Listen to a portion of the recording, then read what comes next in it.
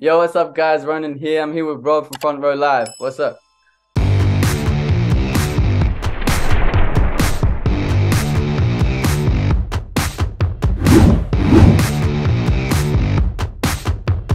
RØNIN, what's up, man? And uh, congratulations with the most recent release. I'm super excited to be talking to you about it um, and just your creative process as a whole. Um, you're, I'm a new fan of your music. I recently got introduced to it, and I'm super excited that I did, just because uh, it's it's great. It's great what you're doing. Talk to me a little bit about kind of figuring out your sound and your style and music.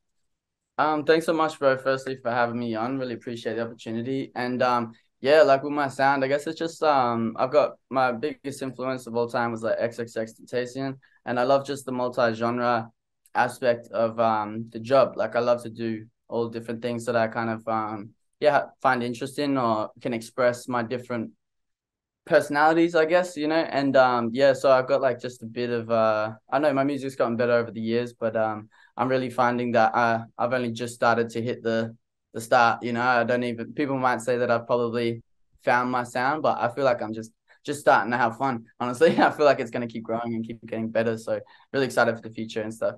Now I'm curious, like what kind of impact uh, your viral song um, "All Girls Are the Same" kind of had on your writing process, and then just like new music, like moving forward. Like, do you feel like it changed the way that you were thinking about the music that you were going to create, or did it have any kind of impact at all?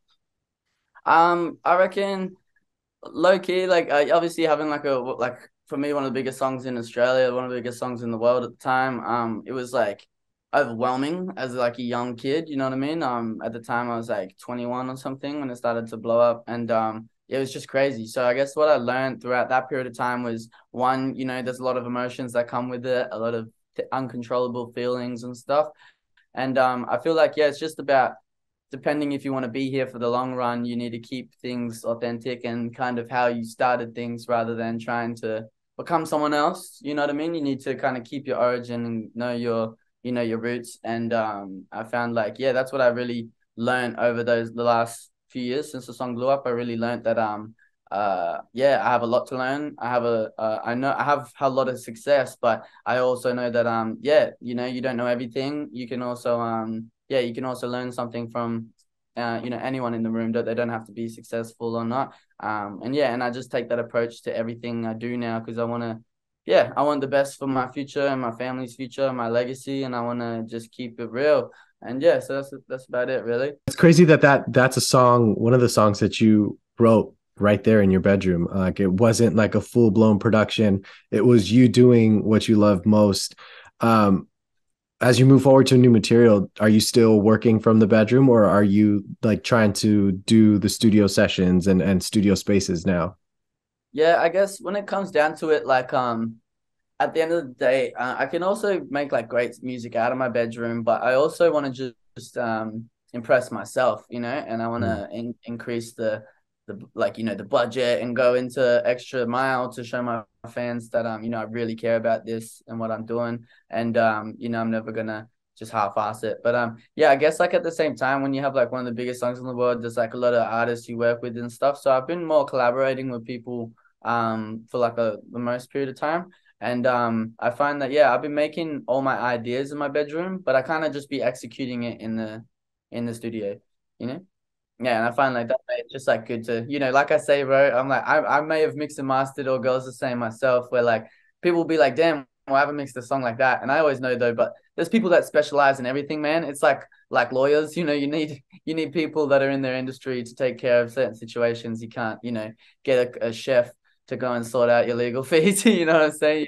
Yeah, you know what I'm saying? when you talk about collaborations are you talking about production like producers are you talking about songwriters are you talking about other artists like what exactly can you elaborate on that a little bit more um so usually like the people i collaborate with um might be writers they might be producers they might be just um yeah just i know people i might just vibe with honestly like um they might be artists i like they might be big or small doesn't matter as long as i really uh connect with their music then i um, i'll invest my time into it um, and I feel like you know you kind of get your depending on who you're working with, I've been been doing this for a little while now. That um, I've learned that uh, yeah, it's good to once you find your crew, just to keep working. And I found a good bunch of boys that like some are producers, some help me write, and some do both actually. So it's been really cool. I've got like a little little um network of my friends right now that I've built up um when I like visited LA last year, and um yeah, there's a whole whole bunch of people in Australia too. So um yeah, they're usually just producers, some writers, and it just usually people I connect with. So sometimes I might write songs of my own because you know at the time um you know no one can come, and it's a bit different when you're trying to get out like five songs in a week than you know when you used to try and finish one song in six months you know what i mean so it's a bit different now where um the workload's a lot more and you know and at the same time i got you know a life and other things on so um it's always great to have a helping hand there and you always just uh like you know if the shoe fits wear it you know what I mean? That's how I kind of take the approach. Um, if someone brings a cool idea to the table that I respect them, then I'm like, yeah, sweet. I, I'll have you on the project, you know? But um, at the same time too, I'm very brutal, and I'll also say no, I don't like this at all, and um, yeah, you're not gonna be on this. Like, you know, I'm also very brutal too. But anyways, very very um reasonable. now let's talk a little bit about Butterflies, the most recent single. Um, what was different this time around in the creative process? Uh, was this a song that came out of an idea that you already had in mind? Was it a song that kind of just flowed out when you were just in the studio or, or in your bedroom, like just trying to create something? Like, what was that process like for Butterflies Ready to Go? Um, well, if I could like paint the picture of the day that I wrote it, you know, the day of the session, whatever, it was like I was in LA and I'm from Australia, man. I never left Australia my whole life. So when I got to LA, it was like, you know, dream come true. And I'm like, um, going up in the hills and this place was like, crazy look like anyways it was so hard to get there i finally got there and um man the place was just amazing and um really really nice house anyways just it was a vibe and we got there and then um i had one of my bros castle come who's like an amazing writer he um co- he wrote um joji's song glimpse of us and um a few other amazing songs out that like trending around the world one of the biggest writers in the world but i'm lucky i got in early i'm lucky i got in early so um, I met him there, and then there was two other boys, Aaron and Alex, the producers. And yeah, man, I think the difference in that session was just that um, there was instant love when I walked in the room. People were just like, "Yo, what's up, man? What's happening?" No like awkward, "Oh, hi, my name's David." You know, it was very like very just open love straight away. And um, yeah, I really appreciated that. And they were telling me like, "Man, you're giving me some like."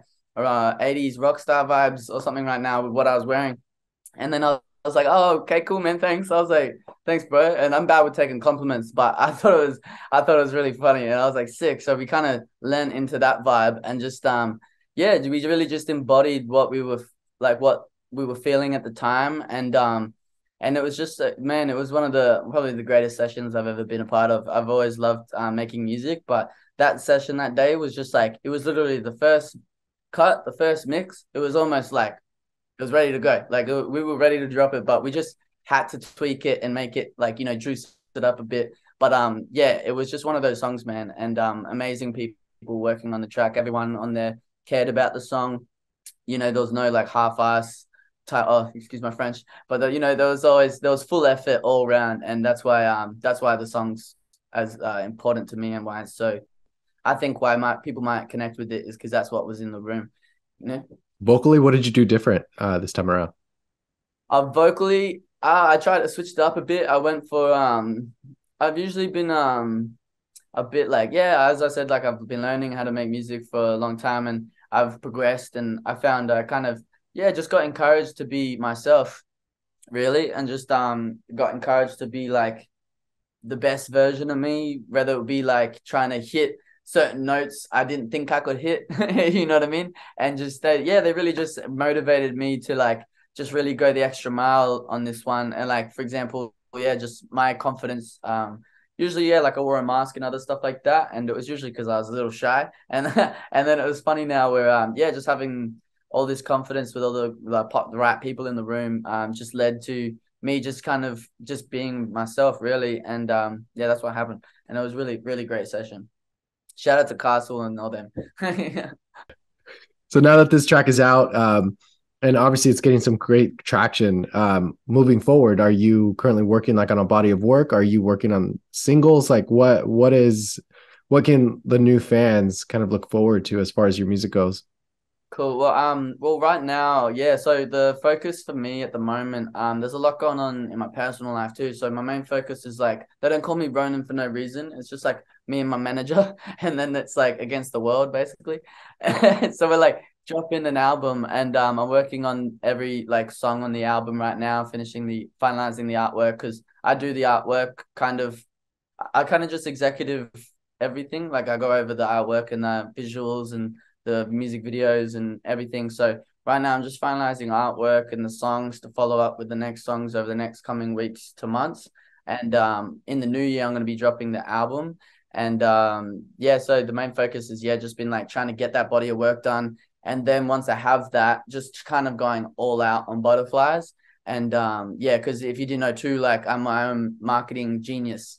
so like yeah, I'm getting into the song after I finish all this. So I'm honestly just so blessed that organically this has been doing really well for um the last week. And um yeah, I'm just so excited to see what the future holds for this because uh, it took uh, about six months to get all girls are the same to a million, and now that song's at 176 million.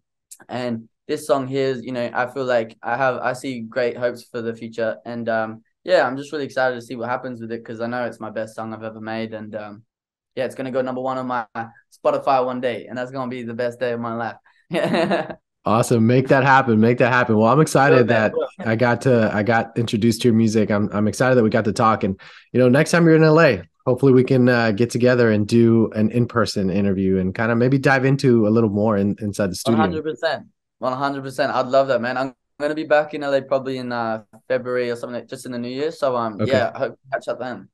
Dope. Looking forward to it, man. Well, thank you again for taking the time and uh, congratulations with with butterflies and obviously the success of everything that you've released so far. Thanks so much, man. Really appreciate the time, man. Thank you so much.